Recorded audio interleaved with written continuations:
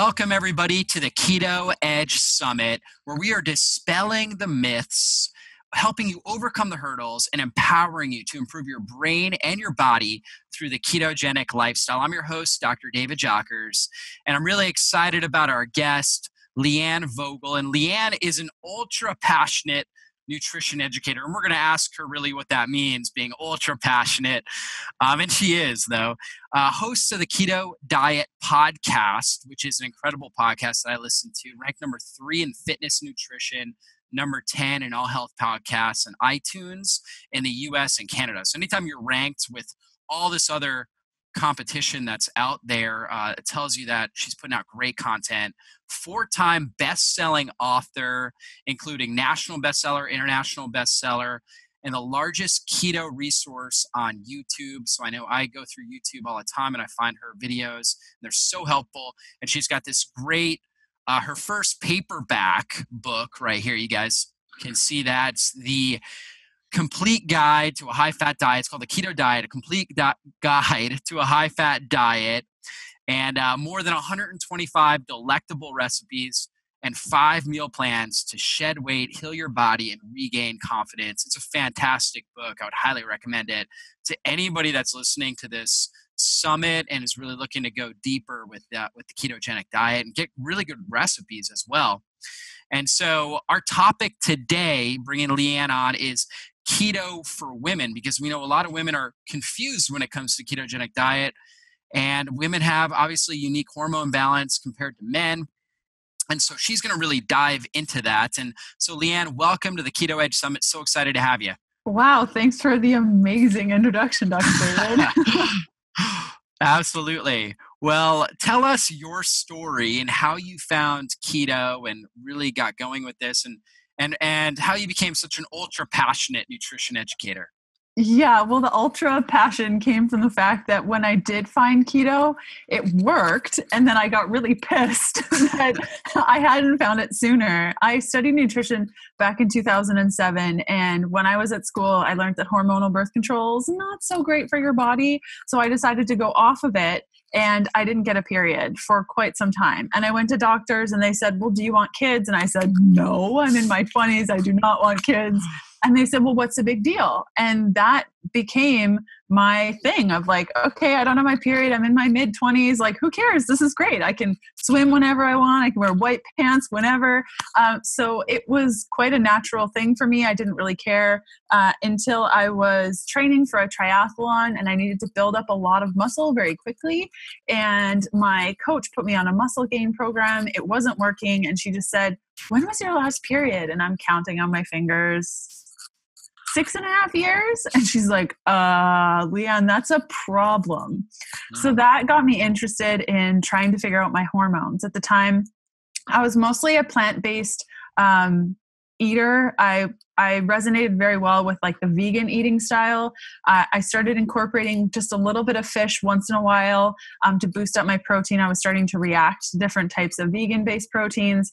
Um, and so i started going to doctors. They basically said the same thing who cares? Uh, i ended up finding an endocrinologist that put me on hormone replacement therapy not bioidentical just the hormone replacement therapy and i gained a lot of weight very quickly. My moods went nuts. I craved sugar. Like I couldn't go through the day without pounding donuts. Like it was that bad. And so I went to a naturopathic doctor about 27 pounds heavier than I was two months ago. And I just said, like, this isn't working. I need help. And she recommended a low carb diet. And as an athlete, I was thinking, there's no way I can train to the level that I'm training about four to five hours a day without carbohydrates. That's not possible. Uh, just so happened when my girlfriends had started eating keto, uh, I checked that out and thought, you know what?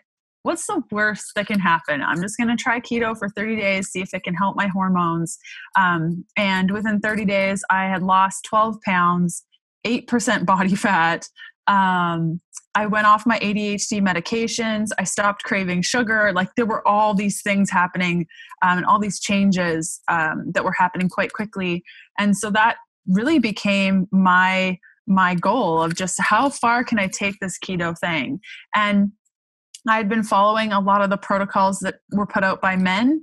And unfortunately, over the first six months of eating keto, I stumbled a lot because although I was losing the weight, my hormones weren't necessarily getting better. I was then struggling with a little bit of carb binges. Like I would go days um, eating keto and then just be obsessed with carbohydrates. So there were little things. So it took me adjusting the ketogenic diet to finally get my hormones back online. And after I did that, I got my period back and I've been ovulating, menstruating, all of the things now for two years. Yeah, two awesome. years last October.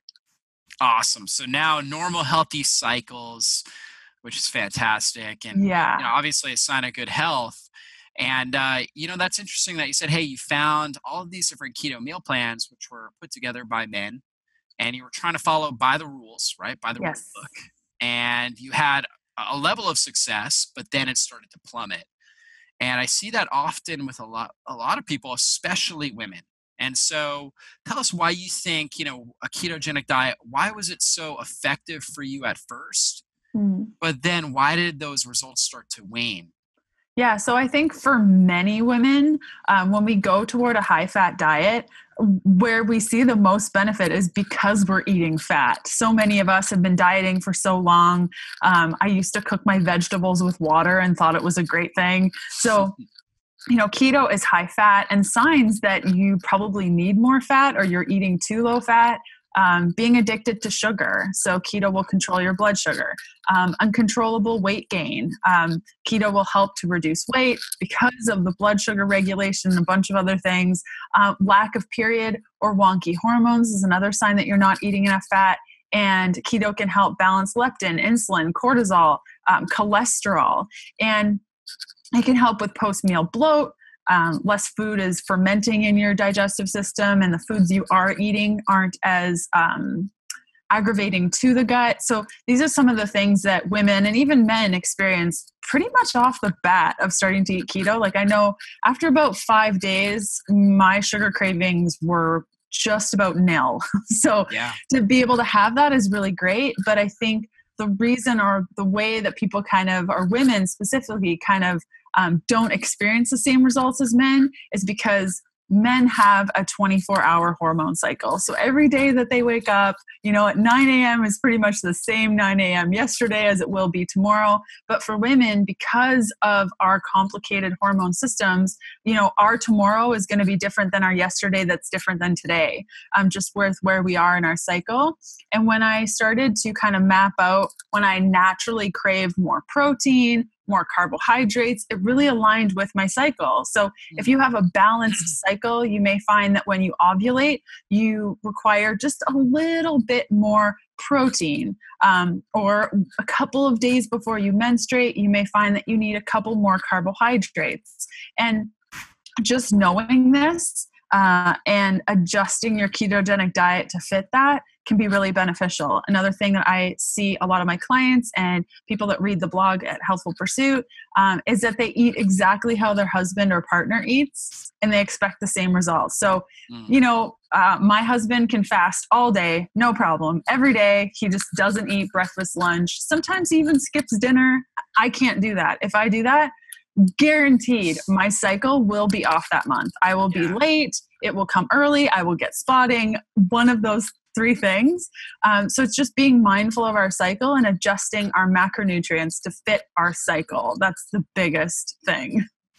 Yeah, I mean, that's so important. So we know that, like, as estrogen goes up, we know basically insulin helps drive estrogen. So there's periods of time during the cycle like before we actually uh, before we have our period where we're building up that that uterine lining where we need extra estrogen. So it makes sense that we might need some extra carbohydrates at that period of time. And your body was telling you you were getting those sugar cravings, particularly yes. in that period of time. Yeah.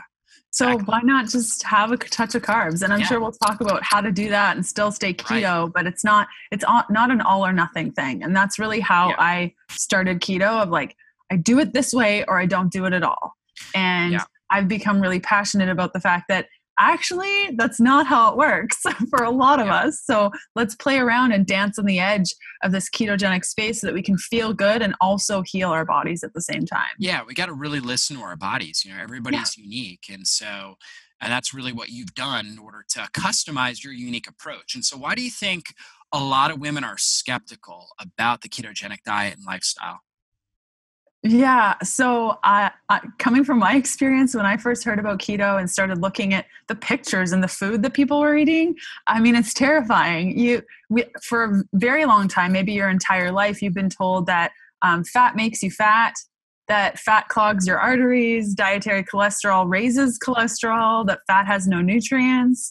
Um, so, when you hear these things and then you hear somebody say, well, just eat a ton of fat usually what people picture is a lot of cheese, a lot of dairy, um, a lot of fast food. That seems to be a thing of like keto fast food. But no, no, no, no, no. Um, what we want to kind of think of and what I kind of focused on when I first started keto, coming from a low fat vegan eating style to then eating bacon every day, was increasing dietary fat consumption keeps you satiated. So if you've ever tried this, I mean, anyone can try this if you're not eating keto right now.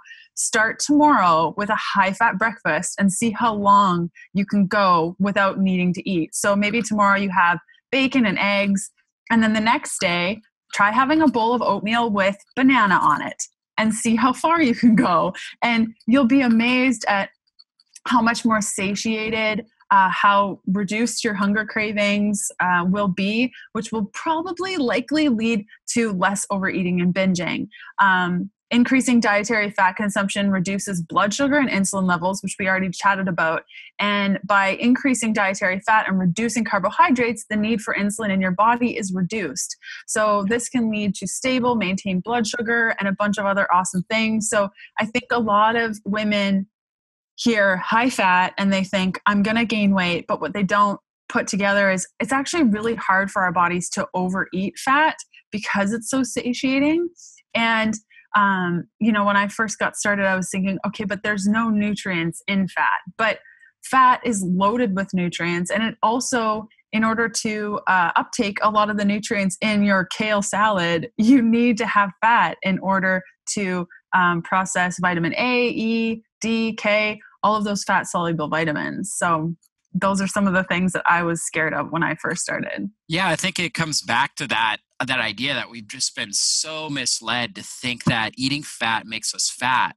Yeah. And uh, you know, just a, a general tone that I've been saying throughout this summit is the illiterate of the 21st century. They're not people who can't read and write. You know, most people in in first world countries nowadays when we can read and write it's those who can't learn something realize it's not actually true or it's not serving us yeah. and then choose to unlearn it and then relearn something new and so we've got to go through that process and realize i've got to delete out this old conditioning into my brain that yeah. fat makes me fat because the research says that's not the case and so it's really the, the carbohydrates, the elevations in blood sugar and insulin, that's what's causing these issues, these weight gain issues.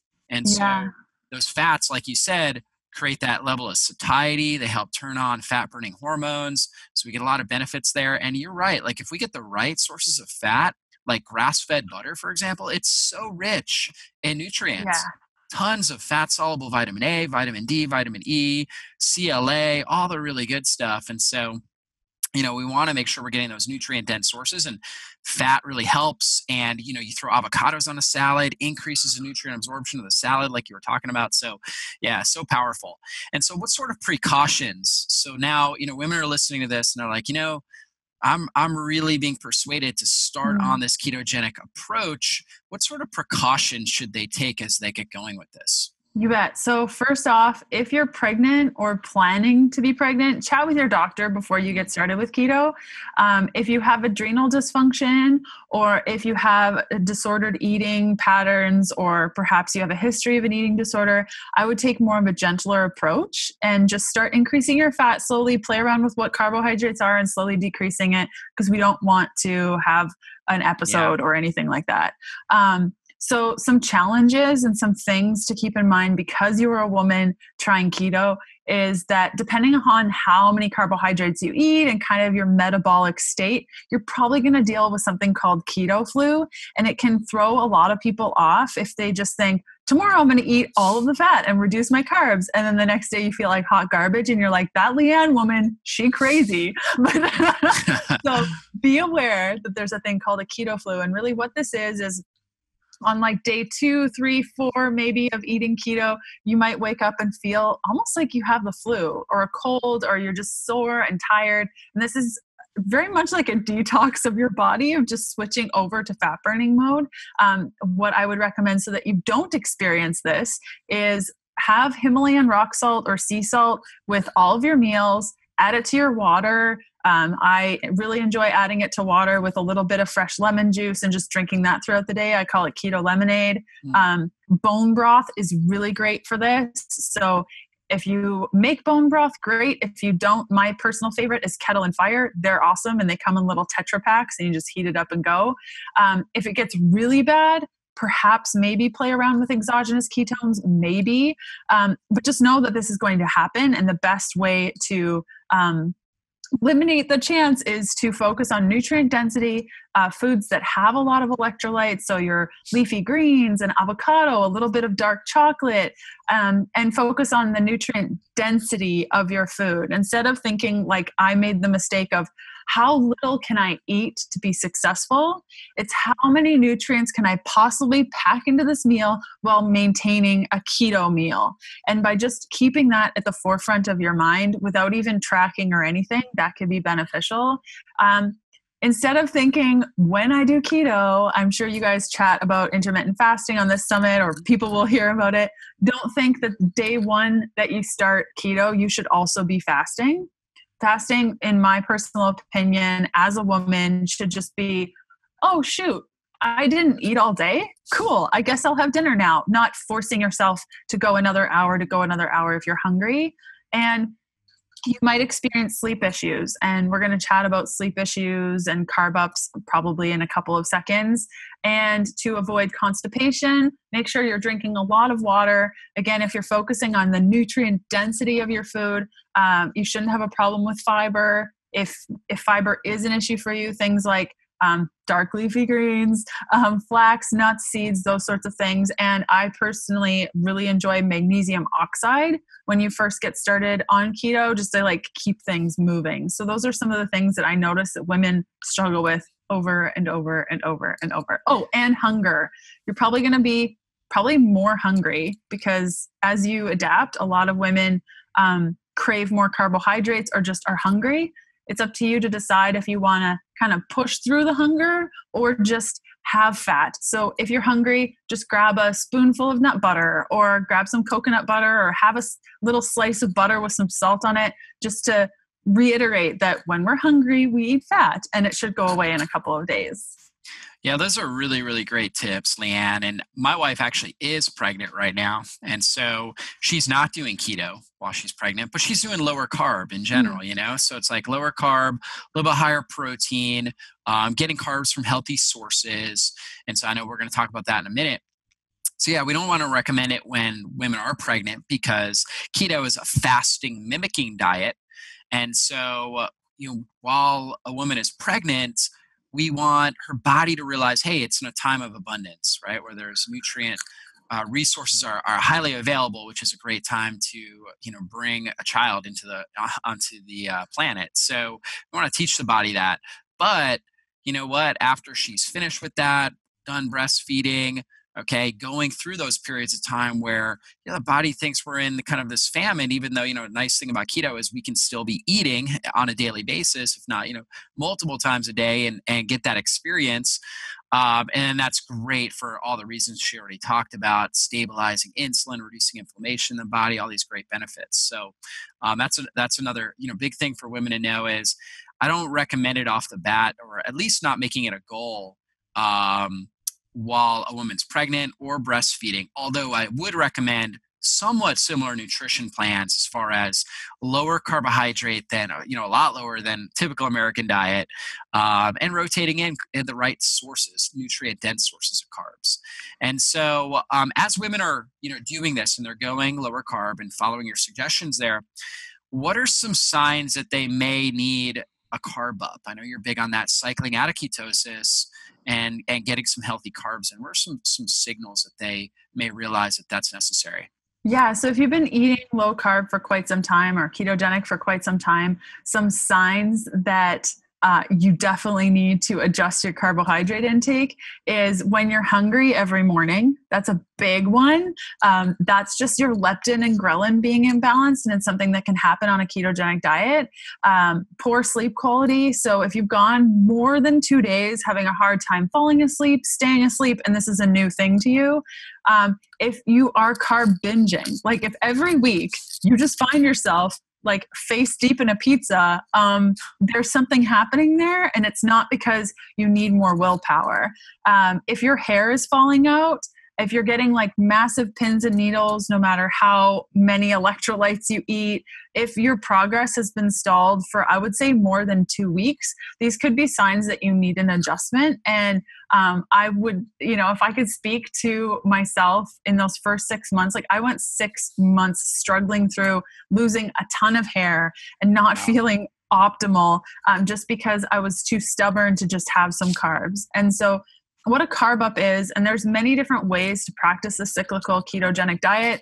Um, carb up is one of them um, but you could also I, I, haven't had success with this but some people um, do a whole day where all they eat is carbs. Other people do protein fasting where they do 15 grams of protein all day and eat all of the carbs and a little bit of fat. Um, so it really depends on your body but where i find women flourish the best is once a week maybe on a Friday, maybe on a Monday, whatever. Just eat keto all day. And in the evening, have some carbs. So you take out the fat from your meal or most of it and you put in carbs. So, like a chicken breast with a sweet potato, a little bit of coconut oil, and some greens. And if you were to make that meal keto, it would be, you know, chicken thighs wrapped in bacon with greens and skipping out on the sweet potatoes. So you're really just swapping out some food and putting in other food. And this can be really great. So, for example, getting back to the pregnancy thing, if I were to get pregnant today, right now, I would probably eat keto until about the second trimester and probably play around with these carb ups. Um, and that's only because I've been eating keto for three and a half years. But it really depends on where you've come from and where you are in your health state some people find that um, women specifically that they do great on one carb up a week. Other women require more. Some women require some right before um, they menstruate. Um, others require it right before they ovulate. Just really keeping mind of that. Um, one thing i will say though is uh, women that are in menopause actually do better with less carb ups usually. Um, and that's just because your hormones are changing. Um, you don't need as many carbs as say a woman in her you know that's 25 uh, so i find depending on where you're at with your health status if you have amenorrhea a lack of period i was eating carb ups every single night mm. and so my carb ups were smaller but i was having them more often whereas now i have a carb up maybe every two weeks so when i do have a carb up it's a lot of carbs yeah. and so it it somewhat takes you out of ketosis a tiny, tiny bit.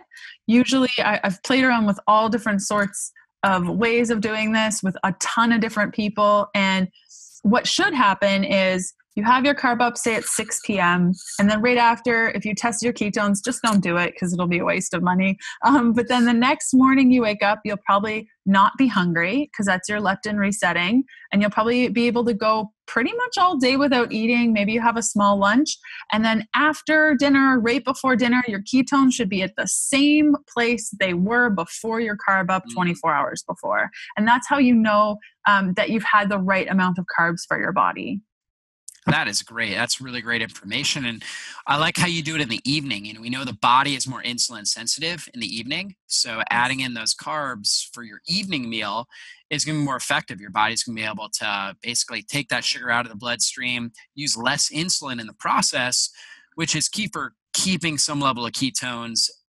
basically available, reducing inflammation in the body so that's that's a fantastic strategy and usually we always you know i'm not a fan of like somebody going out and just doing a bunch of junk food right when they yeah. do carb up right which i'm sure you are as well we want to yeah. do nutrient dense sources like carrots beets sweet potatoes right what else do you like for for carbing up plantains yeah cassava i am yep. i love plantains and cassava and you know if it's my birthday yeah I'll be having grains and I'll yeah. pay for it and it's a conscious choice that I make. It's yep. like I'm gonna have a birthday cake. It has grains in it. Probably not yeah. gonna feel the best tomorrow, but mm-hmm. I think it's mm, you know great for special occasions. But yeah. you're right. Like the more nutrient density, the better. Sweet potatoes and all different types yeah. of sweet potatoes, like the purple ones, the white ones.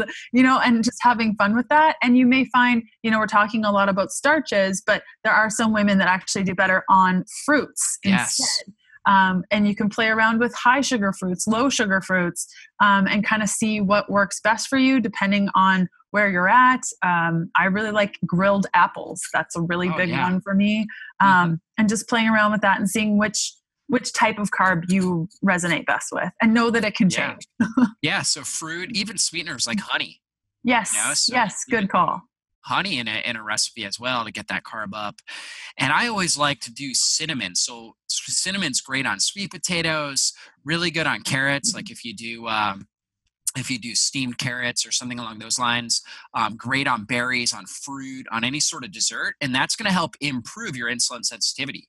So, you know, add in some cinnamon or do some sort of a cinnamon flavored type of uh, carb up can be really helpful as far as keeping that insulin under control, keeping inflammation under control, but still getting the benefits of that carb up. So brilliant, totally. And something yeah. that a lot of people also get worried about is after your carb up, if say you had your carb up around 6 p.m. and right before bed you're super hungry, uh, a lot of people have success with having some sort of like fatty drink, maybe some mm. bone broth with a little bit of coconut oil blended in. Um, just to satiate themselves and get them prepared for bedtime. So if you find like you are starving before bed after a carb up, just play around with that. And maybe next time move your carb up to later so you kind of sleep through that kerfuffle. So it can be yeah. a nice strategy to have.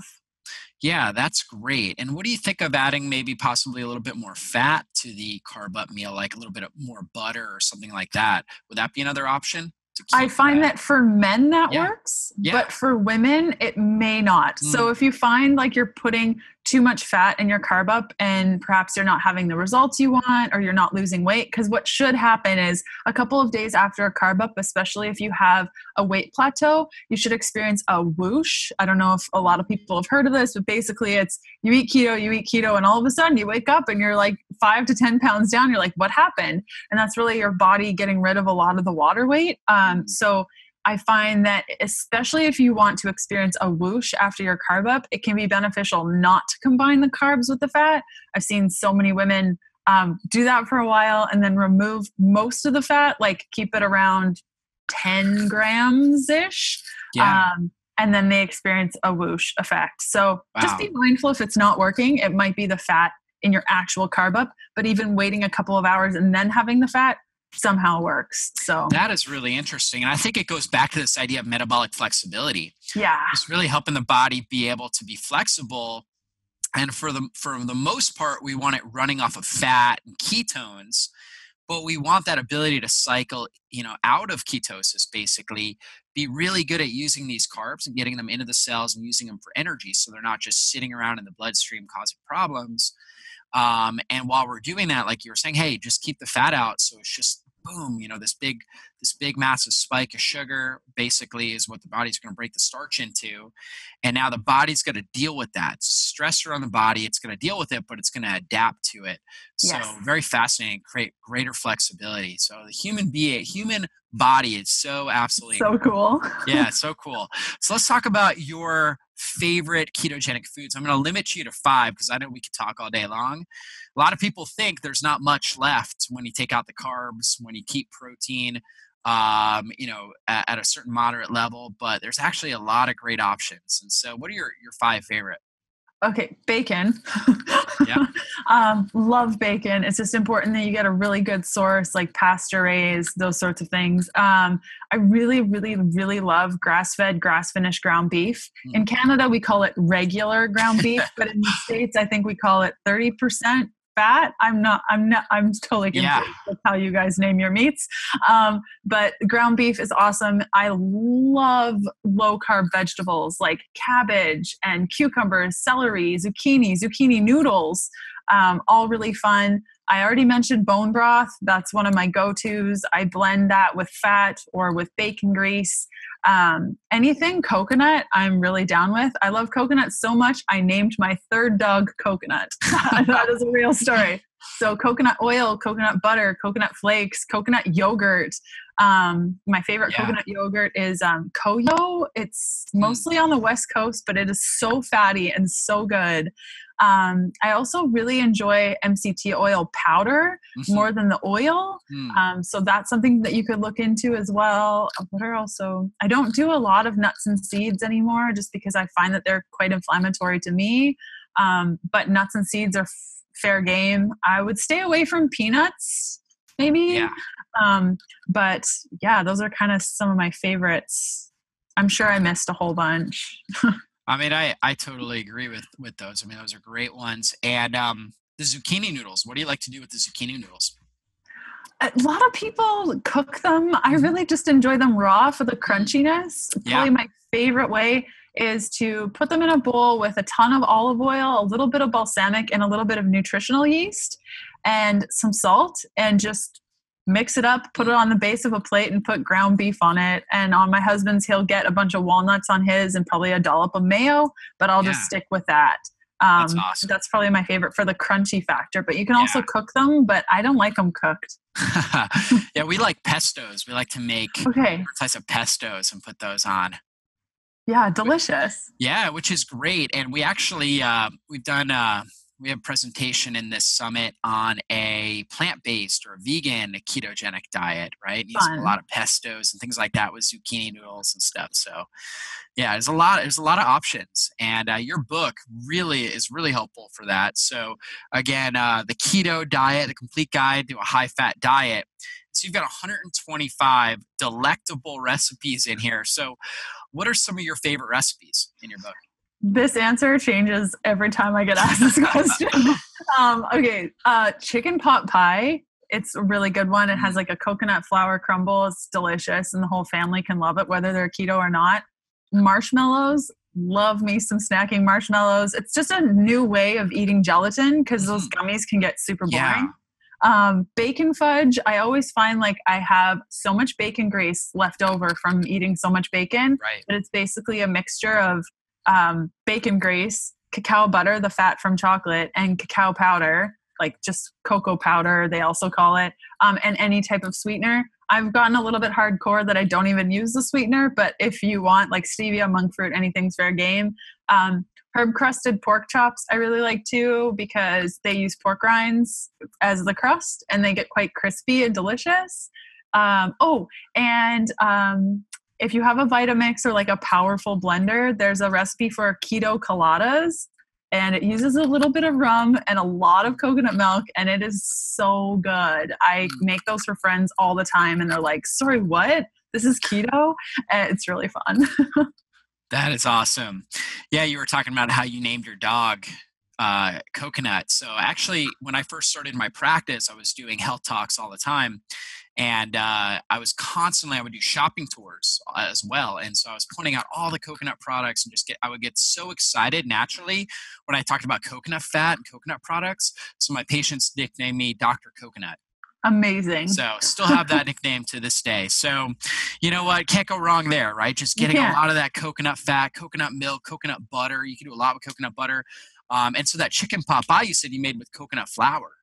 Yeah, yeah. I think it's just coconut yep. flour and oil, and you mix it up, and yeah. then you just crumble it over top of the the chicken, like mm. the chicken mix. And I do a keto that's dairy free because I find that yeah. um, dairy is just so inflammatory for so many people and actually stalls yep. the progress on keto. So in that recipe, I think I used a cauliflower cream base, which is just blended yeah. cauliflower and it actually tastes quite similar to like mushroom soup so you can get right. away with it in that recipe right and so you're really applying hey more of an elimination diet based keto program which can be really good especially for people with autoimmune leaky yeah. gut issues right taking out like you were saying hey some of the nuts and seeds for some people some people do great with them some yeah. people they can be a little bit more inflammatory like you were talking about for yourself um, sometimes dairy can be an issue for a lot of people so um, so yeah, so uh, providing a lot of resources so people understand, hey, you know what, you can actually eliminate some of these foods you're sensitive to and still follow ketogenic mm-hmm. diet mm-hmm. and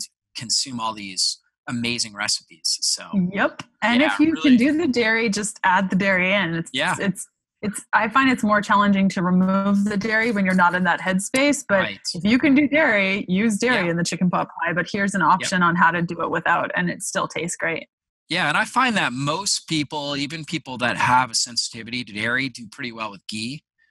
If somebody has an allergy, like they have, you know, their lips start swelling after they consume it, let's not even try, right? But yeah, I am that person. yeah. Oh, really? Really? Yep. So I yeah. found for most people that just don't feel as good. They have kind of a delayed onset uh, sensitivity. They do well with ghee because it's free of the casein, lactose whey. Yes. It's got, you know, just microscopic amounts. And so for most of those people, they do fine. But again, you know, if you do have an allergy, like you were saying, hey, then then definitely you'll definitely want to avoid that. Yeah. Um, and so coconut flour. What are your thoughts on baking with coconut flour? Because you know, for a lot of people, they they get confused because oftentimes when you're baking with coconut flour, you need a lot more liquid, whether it's like coconut milk yeah. or eggs, extra eggs, right? So when people look at your recipes, they're like, "Are you serious? I need you want 12 eggs. 12 eggs 12 are you sure about that yeah. are you sure you can need one or two um, right.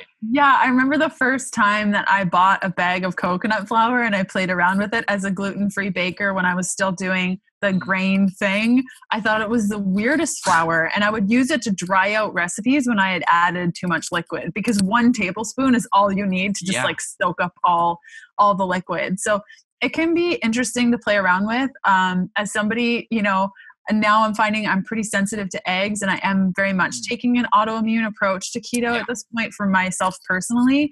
Um, coconut flour does really well with coconut oil or yeah. bacon grease or those sorts of things.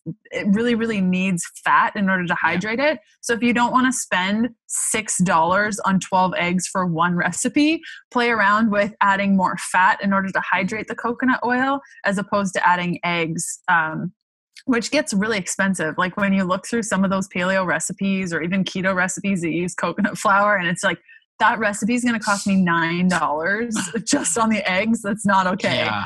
Um, I really like to use coconut flour. Um, I've been playing around with this recipe with coconut flour, water, and bacon grease to make like little flat cracker pancakes in the in the grill, and that's really fun. Just as like something on the side to like scoop up things. Um, you could also use like lettuce wraps, but yeah, coconut flour, when you first get it, don't treat it like other flours.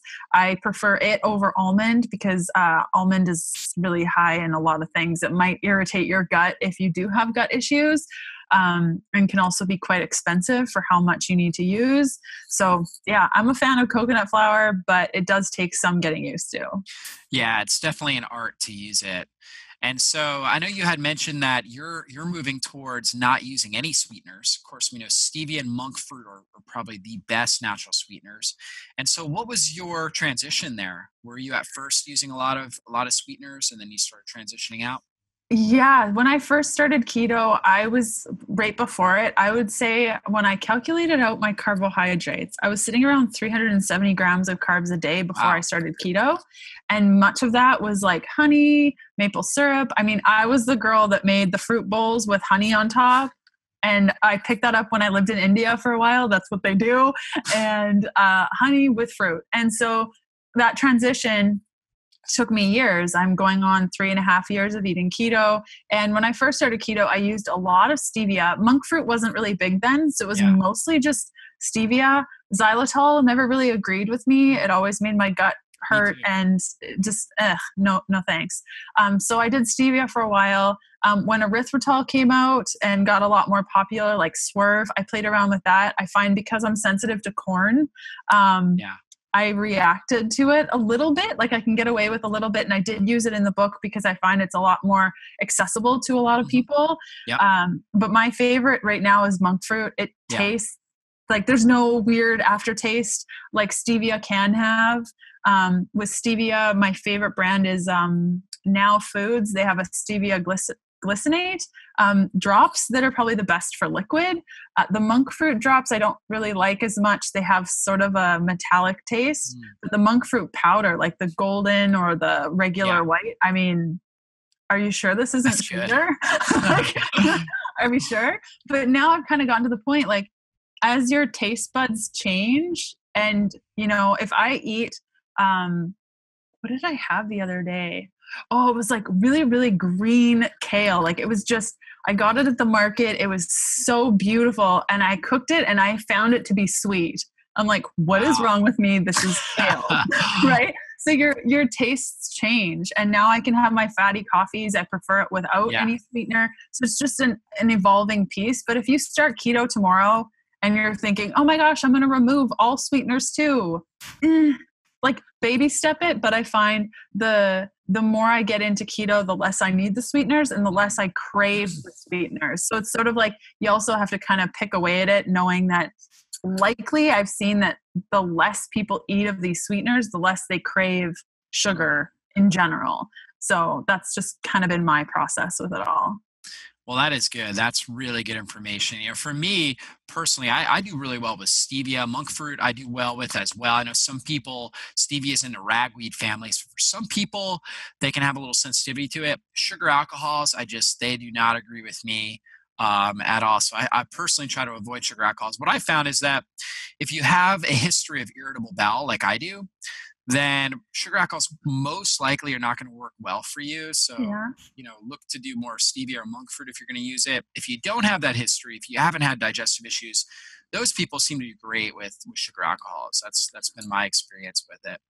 And uh, so for me, I, I enjoy having some sweet stuff flavored with stevia, um, you know, from time to time, and uh, enjoy it. But you're right; it can definitely go downhill quickly, right? Where Aw. you get massive cravings if you uh, if you're overdoing it. So um, so you do need to to do it with a disciplined approach, like you were saying.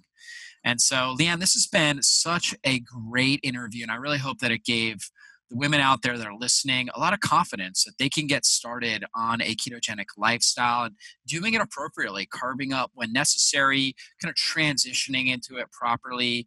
And uh, do you have any last words of wisdom and inspiration, and also share with our viewers really how they can connect more with you?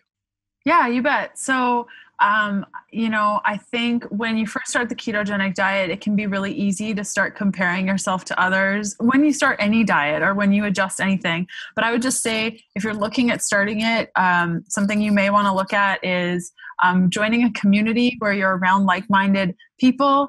Um, I made the mistake of getting into communities that made me feel guilty about the choices I was making. So if you can find a community um, you know even like healthful pursuit where you know we really encourage you to listen to your body and this is a great opportunity when you eat keto it's this magical thing and you won't realize it until you're there but when you eat enough fat all of a sudden your brain changes your mood changes you're able to handle different things and it becomes so much easier to take a second to understand what your body needs and to listen to those feedbacks like if you're bloated what does that mean? And how can that you know how can we change that? And it just allows more space to listen to your body. So this is such an amazing practice that not only will make you feel good inside and out but also allow you to connect to your body more. And if that's something you've always been curious about but you're not even sure how to grasp it it can be um, quite easily achieved on a ketogenic diet and being part of a community that supports that growth and allows you to